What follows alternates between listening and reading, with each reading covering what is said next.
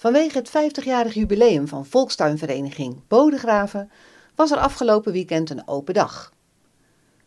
Voorzitter Aad Beens overhandigde het jubileumboek aan wethouder en lokale burgemeester Dirk-Jan Knol. Even over het belang van, uh, van volkstuinieren en moestuinen.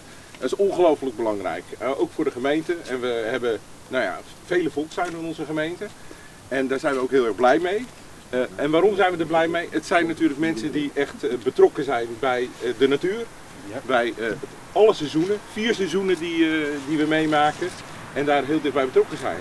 Maar daarnaast, en jullie zeiden het al, is het eigenlijk één grote familie. Iedere ja. volkstuin is weer, hè, er is een groot sociaal gebeuren. En dat is ook heel belangrijk. En nog veel belangrijker, alle groenten die je, hè, ik zei net, ik heb ook een tijdje moestuin gehad. Dan komen al die bonen komen tegelijk van. Uh, uh, en dan denk ik, wat moet ik met al die bonen? Dus wat ga je doen? Je gaat naar je buren toe, je gaat naar je omgeving toe, naar je familie toe. En je gaat het toch ook weer een beetje uitdelen. Het is gezond, het is duurzaam. Er komt uh, over het algemeen weinig wordt er gespoten. Klein beetje, klein beetje. beetje. We zijn steeds minder. Steeds minder. Een beetje ja. biologisch tuinieren. Ja. Dus het is gezond. En, nou ja, het is ook goedkoop, laten we eerlijk zijn. Uh, meneer Beens, u bent voorzitter van de Volkstuinvereniging. Gefeliciteerd met het 50-jarig bestaan. Ja, dankjewel. Uh, het boek dat is uh, tot stand gekomen door, ja, in de algemene ledenvergadering die we gehouden hebben. Dan hebben we gevraagd aan de mensen van, ja, we willen een boek uitgeven, maar u moet het aanleveren. Ja.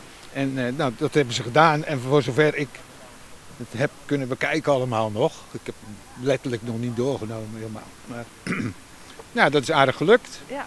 Meneer, u bent Arjen Boekhorst. U bent de zoon van de, een van de oprichters van de tuin. Ja, dat klopt. En u bent uh, de zoon van de meneer Boekhorst die hier uh, op het bordje staat. Hè? Ja, dat is, dat is mijn vader. Ja, ja.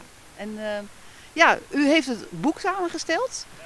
ik vroeg net aan de voorzitter, hoe is het ontstaan, die, die tuin, die volkstuinen? U weet dat vast. Ja, dat weet ik. Want dat is bij ons thuis gebeurd. Bij ons aan de, aan de, aan de tafel uh, is, het, uh, is de vereniging opgericht eigenlijk. Ja.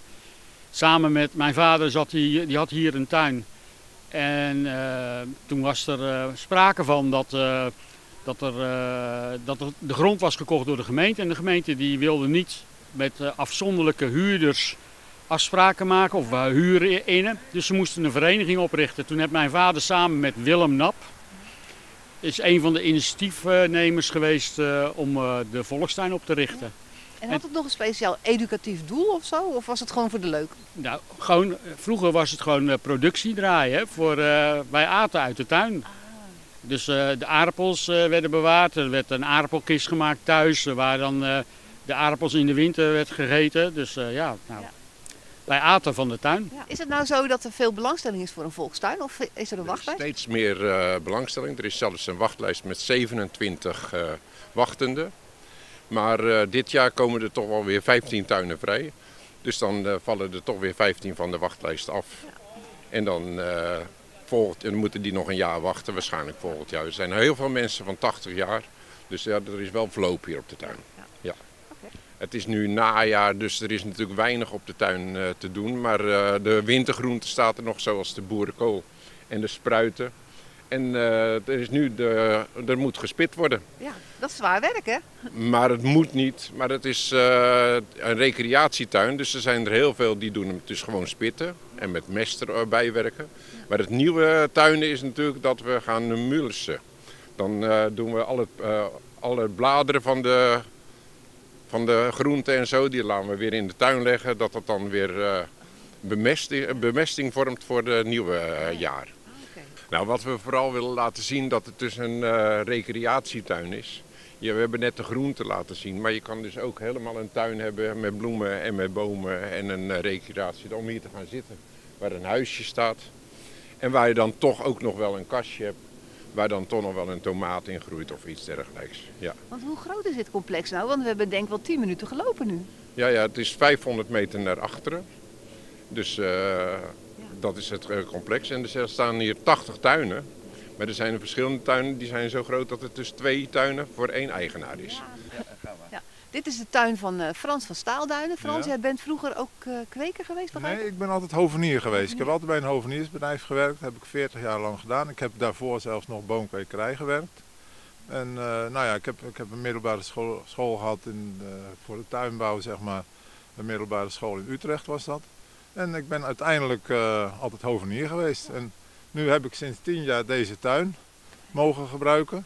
En dat is een enorme hobby eigenlijk van me. En is er nou een ontwikkeling in, in ja, inzichten, zeg maar, hoe je moet tuinen? Uh, nou ja, je komt altijd weer tot andere inzichten, maar ik ben echt overgegaan tot, uh, tot volledig een uh, grassentuin plus bloemen. En zolang mogelijk alles laten staan, zwinters. Het werd vroeger allemaal weggemaaid. En dat doe ik dus niet meer. Want je krijgt daardoor veel meer vogels. Ja, tegenwoordig zeggen ze biodiversiteit. Ja, en nou ja, dat, dat, is eigenlijk, dat is wel een verandering geworden. Want vroeger was alles schoongeharkt en, en weg. Maar nu laten we het staan in de winter. Ja. En, en zoals we net al vertelden, de bladeren laten liggen om, om ja, weer nieuwe dat voedingsstoffen dat te is krijgen. heel goed, ja. ja. dat is prima. Bladaarde is het beste wat er is. Ja. Waar kijken we hier nu op uit? Nou, we kijken dus hier nu uit op het uh, landschap wat we hier uh, in uh, de Meijerpolder hebben. Maar daar zie je dus een tuinencomplex wat ook hierbij hoort. Dit is tuin West en dat is tuin Oost. Oh, en we zijn beide, zijn er 80 tuinen om en nabij, maar er zijn wat dubbele ingedeeld. En ik ben dus tuincoach op tuin uh, Oost.